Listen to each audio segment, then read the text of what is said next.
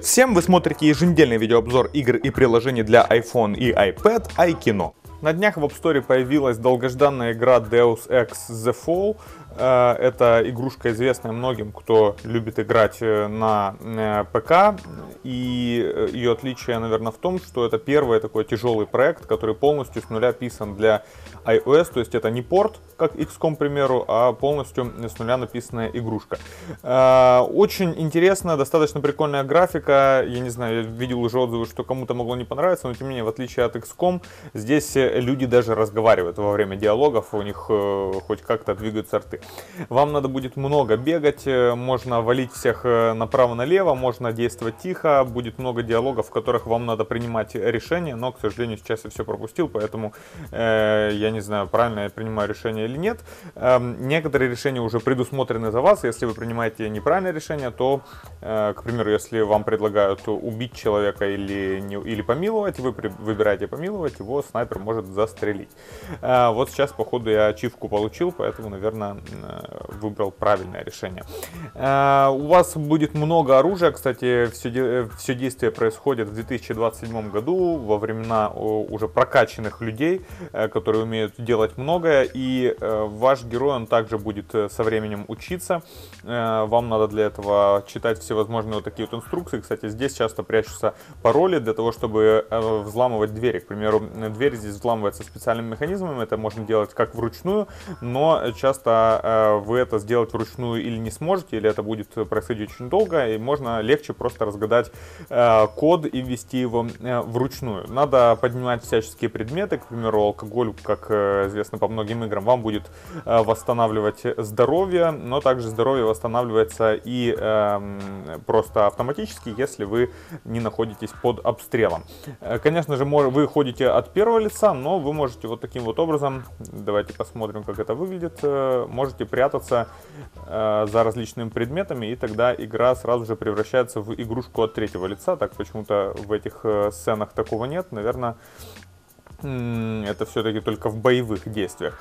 Э, конечно же, много головоломок, много всего придется разгадать. Э, рекомендую все читать, э, надо общаться с людьми, принимать всевозможные решения и так далее. В общем, игрушка мне понравилась, она стоит 7 баксов, доступна в App Store. Я ее рекомендую, особенно тем, кто любит тяжелые проекты, а не всякие казуальные игры, хотя и они тоже имеют право на жизнь.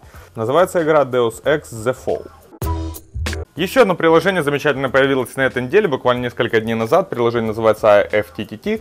И э, это, собственно, клиент одноименного сервиса, который был доступен только в вебе. И теперь появился клиент для iOS. Причем не просто так появился, а с новыми штуками, которые в вебе будут недоступны. Что позволяет делать этот сервис? Я думаю, что многие про него слышали, но немногие знают, для чего он нужен. Этот сервис позволяет создавать свои рецепты из ваших э, различных социальных сетей, сервисов и так далее. На самом деле очень полезный инструмент как и для бизнеса. Очень много есть э, примеров в интернете, как э, нормализовывать, к примеру, или организовывать там SMM деятельность и так далее. Давайте попробуем, попробуем создать какой-то э, рецепт сейчас. Все происходит вот в таком вот программном виде. У вас есть if э, плюсик, then плюсик второй, который надо будет добавить. Нажимаем на первый плюсик и посмотрите, как здесь много всего есть.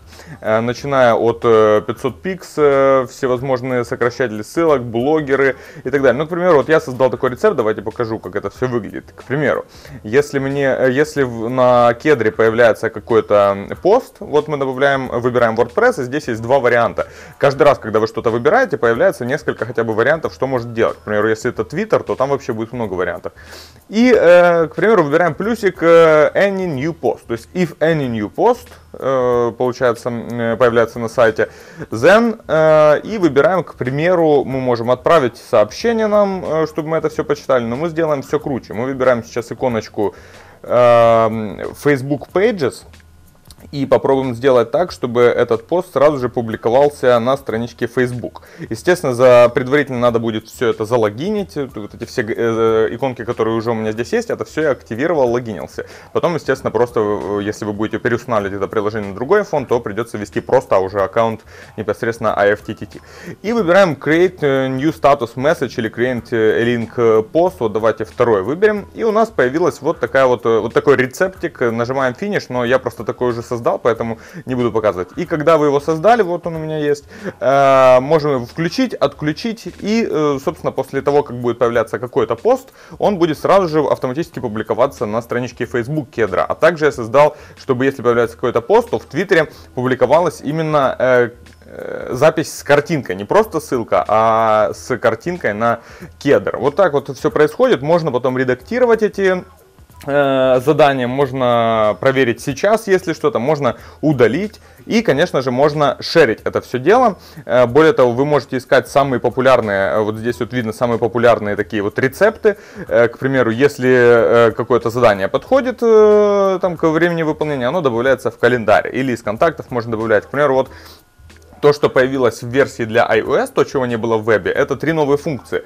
Теперь можно синхронизировать с контактами внутри телефона, с галереей и э, с напоминаниями. Потом, может, конечно, этот список будет расширяться, но теперь вы можете, к примеру, все новые фотографии задать, э, сделать задание, чтобы они автоматически публиковались в какую-то социальную сеть.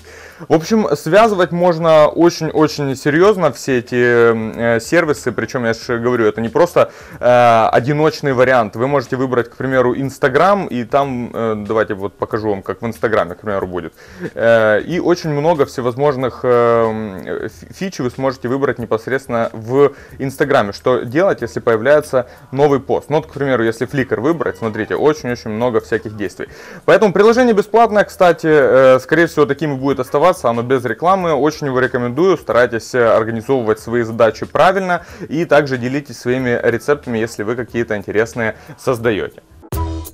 Далее смотрим на приложение, которое называется Hide and Snap. Это приложение для э, такой сверхпотайной съемки фотографий. К примеру, если вы э, знаменитый айфонограф и хотите людей в метро снимать, конечно же, это неудобно, потому что на вас все будут палить, даже если вы с айфоном. Открывайте вот это приложение и якобы читайте себе ленту каких-то э, новостей, где здесь вот СССР пишут что, и на русском, и на английском. Хочу играть в грязный рок-н-ролл, а вместо этого играю в доту и так далее. И у вас здесь есть э, три кнопки и вот вот такие вот два окошка.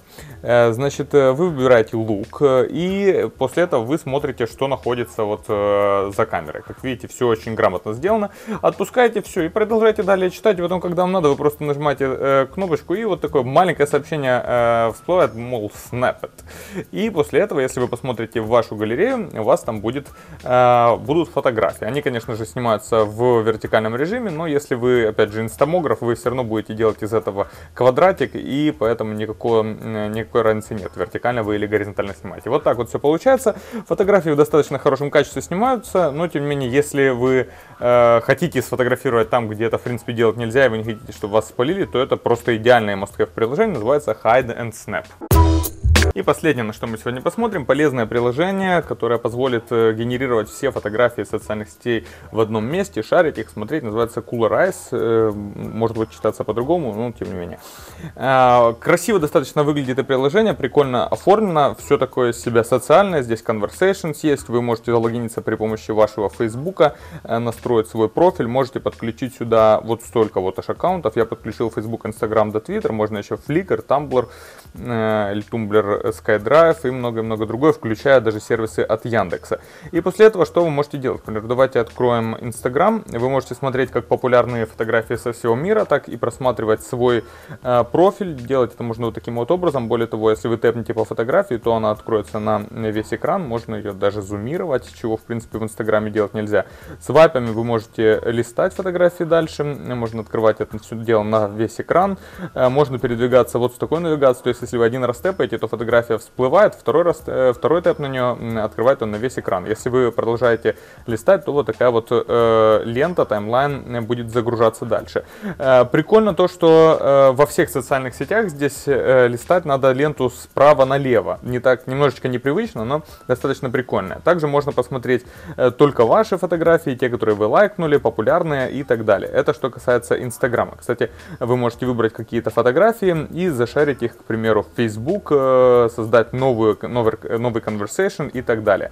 Э, если мы откроем, к примеру, Twitter, то, конечно же, э, вы сможете наблюдать все фотографии, которые э, ваши фолловеры публиковали в последнее время. Ну, здесь, наверное, может быть всякий срам, поэтому уйдем отсюда.